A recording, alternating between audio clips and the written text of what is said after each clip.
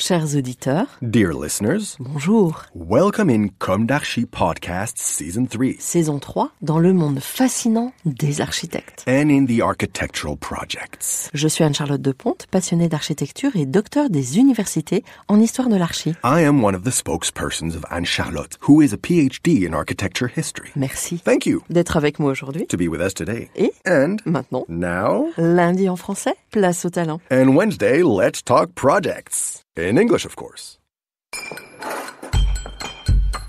Bienvenue dans Com d'Archi.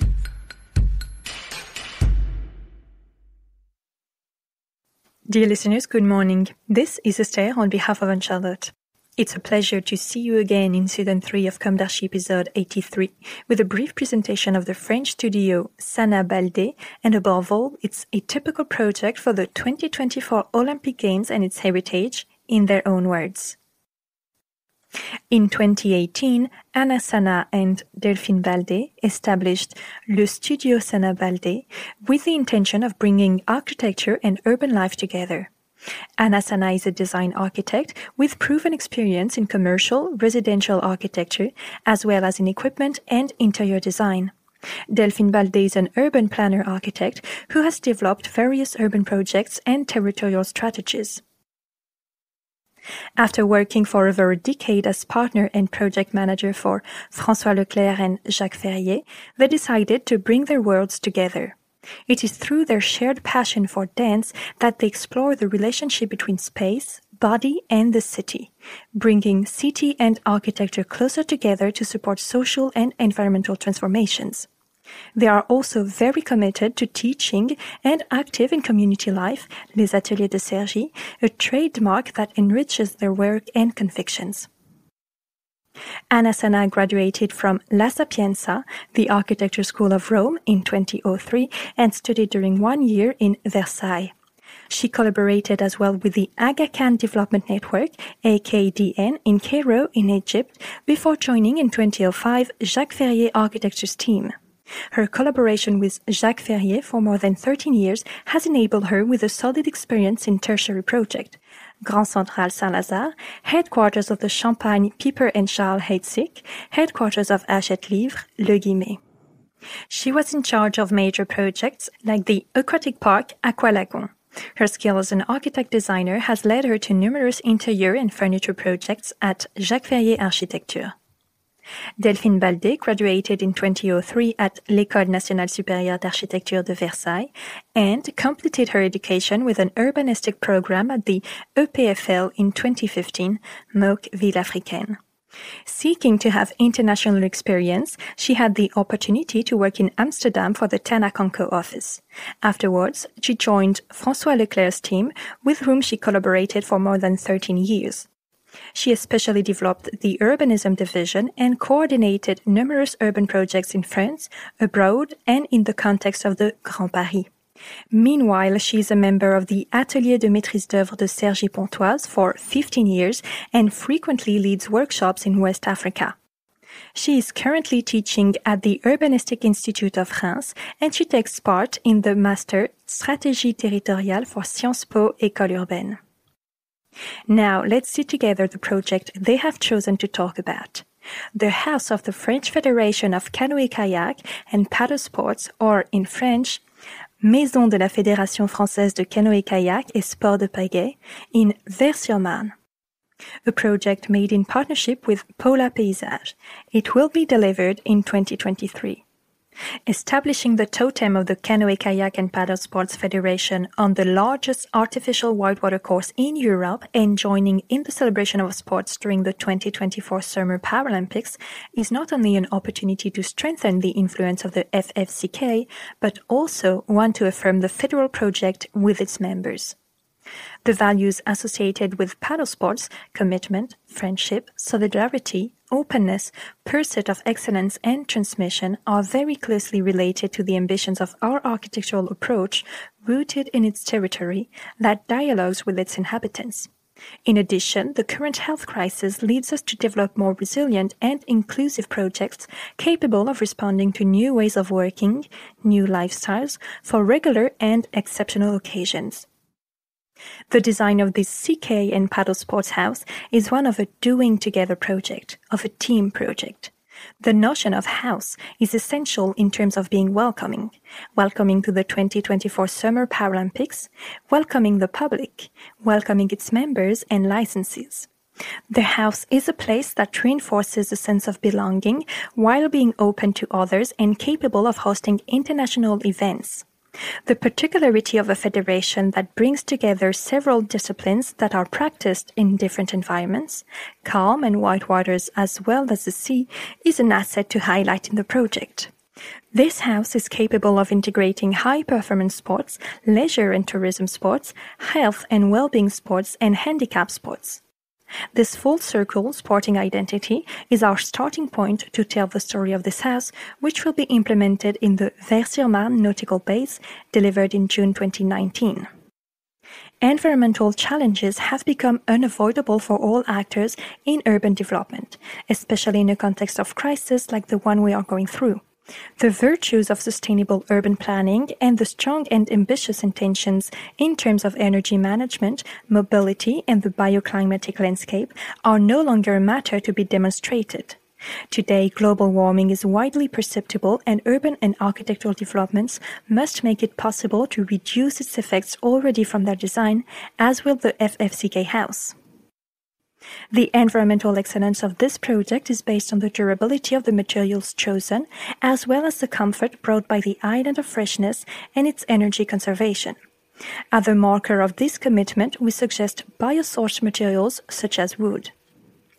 The new environment for the headquarters of the FFCK and paddle sports must meet the needs for flexibility demonstrated by the COVID crisis. The same space needs to be easily and sustainably adapted for physical distancing, as well as collective and individual work. This mix of uses in each space allows us to custom build the structure for a growing federation. About 30 kilometers from the heart of Paris, the Vaires base is the first operational facility for the 2024 Olympic and Paralympic Games, where the canoeing and rowing events will be organized a high quality achievement, and a landscaping that respects the environment and the biodiversity of the Vaires-Torcy Leisure Island while meeting Olympic standards. Our house must fall within these same standards. Our proposal intends to assert a strong identity at the entrance to the site while delicately integrating it to the surrounding urban context. We propose a simple but remarkable architecture. It is a landscape architecture that fits into the topography of the site and follows the spirit of the project carried out by Auer Weber and Agence TER. Located on the roundabout of Route de Torcy, raising its silhouette in the landscape, its presence will completely transform the entrance to the nautical site. It will become an emblem, a meeting place. Here, the outdoors is as important as the indoors. Events can be organized both indoors and in a series of outdoor spaces such as the rooftop, the garden patio, and the terraces, which include some protected areas to cater for all weather conditions. For us, architecture is not only a space that hosts, it must do much more. It must stimulate the collective, promote excellence and well-being, and it must guide all generations of our society towards a more social and environmental awareness. It is a house catalyst of our values that we have imagined for the Federation, a place that reveals the great landscape and which brings together passionate people. To host the 2024 Paralympics will mark the celebration of the strong links between the Federation and Olympism on a site with a 5 hectare park and HQE facilities. Our design of this landscaped building, open to the city, was inspired by the idea of a house that reveals the hidden athlete within us, and what that puts sport at the heart of our daily lives. A contemporary landmark. The new FFCK headquarters presents itself as a contemporary landmark within the existing landscape. Far from separating it from the existing buildings, the project creates a dialogue between them through its facade and roof that prolong those of the nautical base, evoking a shared vision. The strong elements of the CK house. A building integrated into the environment, a panoramic view towards the lake, a green roof that recalls the surrounding landscape, The forecourt patio, both open to the city but protected from nuisances, a transparent ground floor in continuity with the external garden. The new building is not a form in which the program must bend, but on the contrary a tool to work with.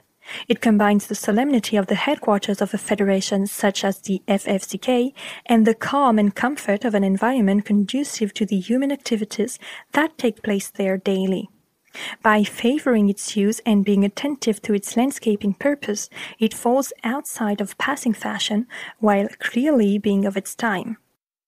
It intends to be a generous and useful place. A flexible program. The building follows the shape of the site, suspended in a wooded landscape. The interior spaces are organized around a patio.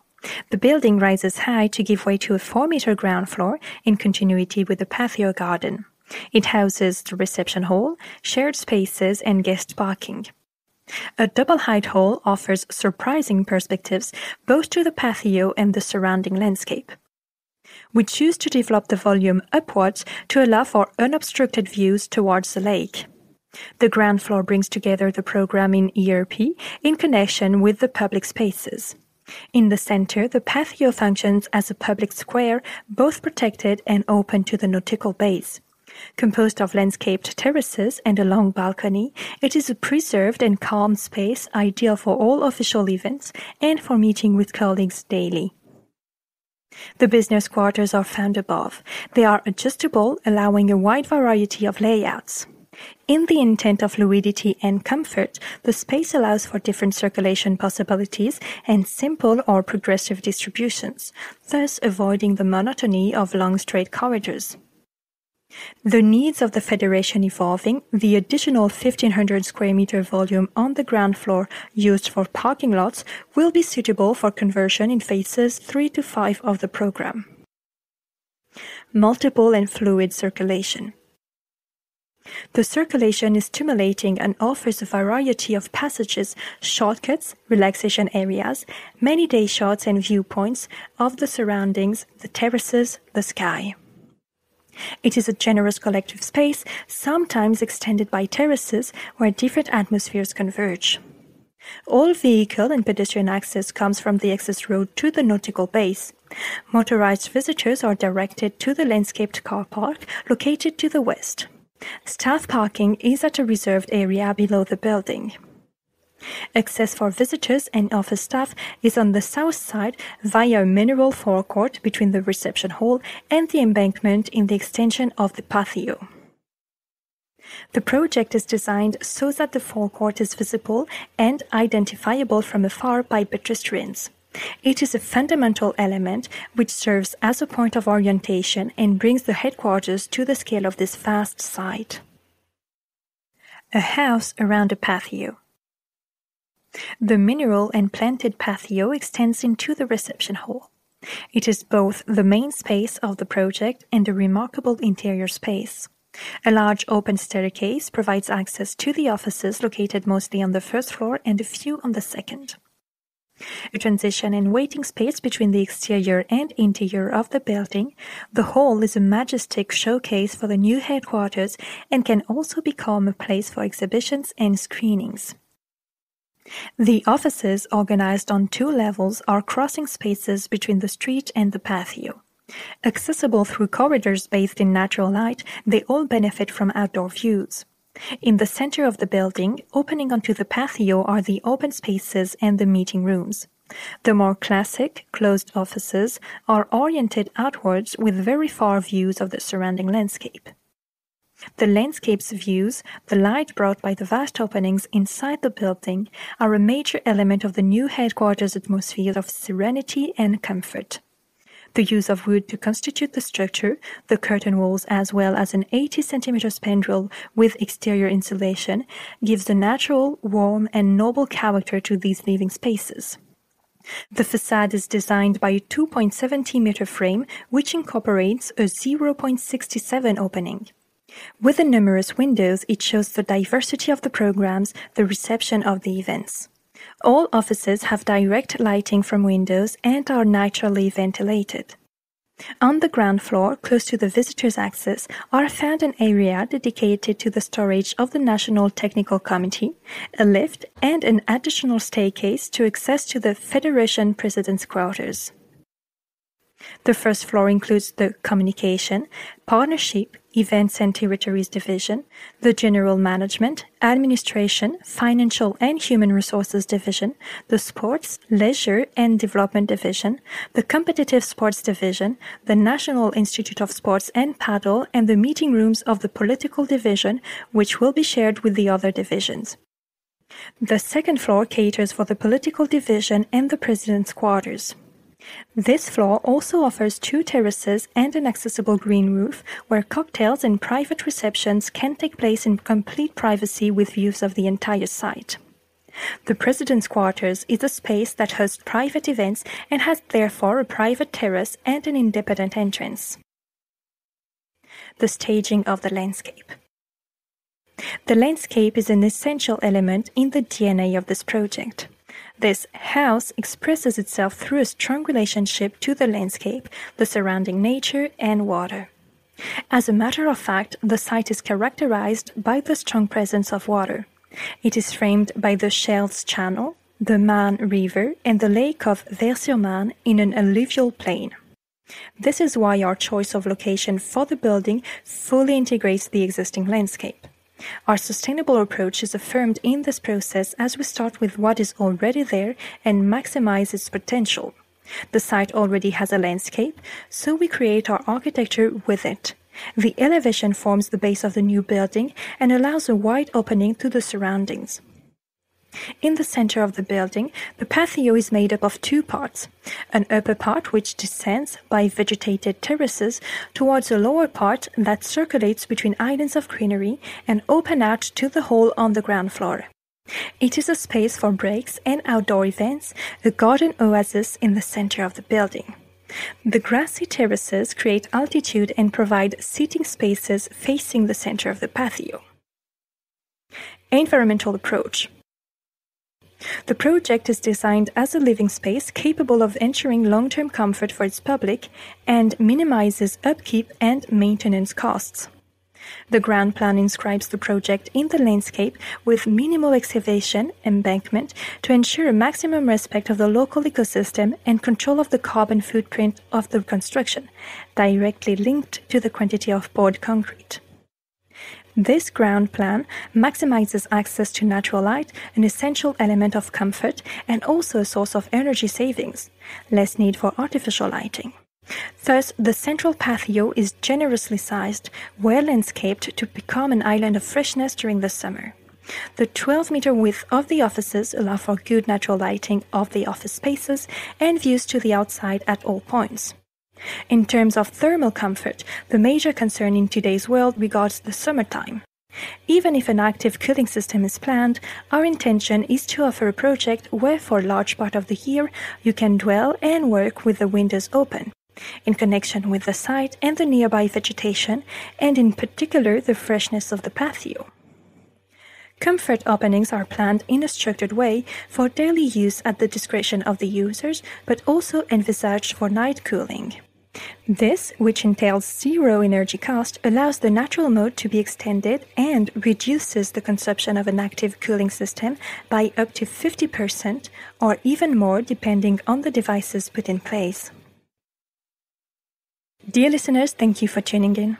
Let's meet again next week for a new d'Archi in English. And until then, take care of yourselves. Goodbye.